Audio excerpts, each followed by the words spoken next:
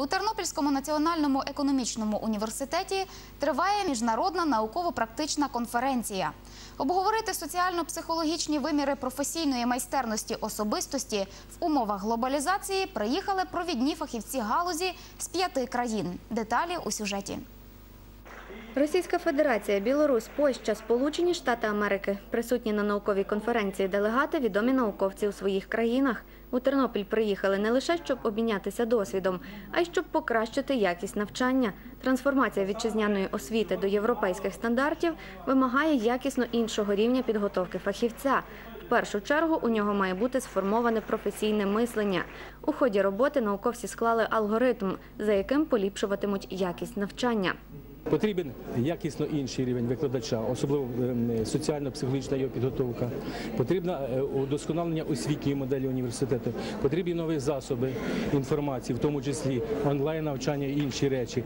І потрібна, як не парадоксально, е, постійна взаємодія викладача і студента.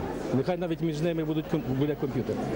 Звернулися науковці і до проблем галузі. Основна з них життя змінюється швидше ніж наукова школа.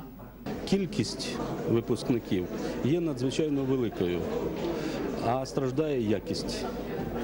Е, Я, як керівник психологічної служби системи освіти, можу сказати, що ті кадри, які йдуть з вищих навчальних закладів у психологічну службу, вони е, далеко не відповідають тим вимогам, які висуває життя Доктор психологічних наук Іван Данилюк до Тернополя приїхав із пропозицією об'єднати психологічну спільноту. Для цього пропонує створити асоціацію факультетів психології України.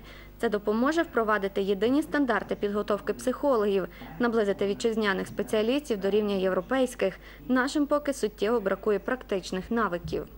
лабораторій е, сучасних, де б можна було, наприклад, е, вивчати роботу мозку за допомогою е, приладів електроенцефалографа, чи, наприклад, е, вивчати рух очей, тому що знаєте, кажуть, не вір своїм. Так от айтрекер дозволяє вивчати, наприклад, куди дивиться.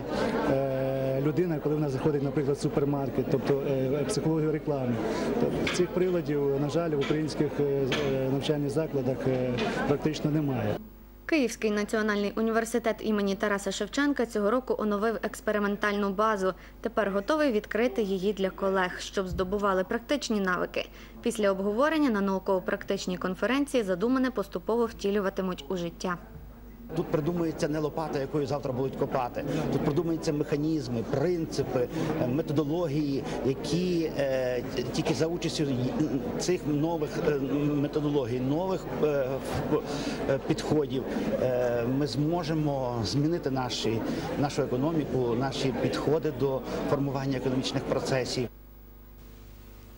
Фінал учнівської природничо-математичної олімпіади відбувся у Тернопільській школі ліцей номер 13. Про це дивимось далі. Природу об'єднали з математикою в одну альтернативну олімпіаду для дев'ятикласників.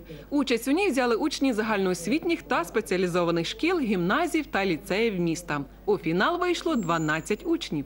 Фактично, е, це вже у нас фінал, у якому бере участь 12 чоловік, е, але вони відібрані внаслідок кастингу, е, у якому взяли участь 54 чоловіки.